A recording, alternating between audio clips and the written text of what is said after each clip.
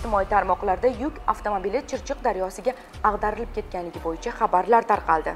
Joriy yilning 9 iyun kuni soat taxminan 18:30 larda toshkent viloyati yuqori chirchiq tuman hududida ya'ni korxonalar orasida tashkil etilgan avtomobil yo'lidagi ko'prikda 2001 yilda tug'ilgan haydovchi boshqaruvidagi havo rusumli transport vositasi haydovchining ehtiyotsizligi oqibatida chirchiq daryosiga tushib ketgan. Ushbu hodisa natijasida avtomobilda bo'lgan yo'lovchi voqea joyida vafot etgan. Haydovchiga esa birinchi tibbiy yordam ko'rsatilgan. Hozirda holat yuzasidan yuqori chirchiq tuman ichki ishlar bo'limi tomonidan tergov harakatlari olib borilmoqda.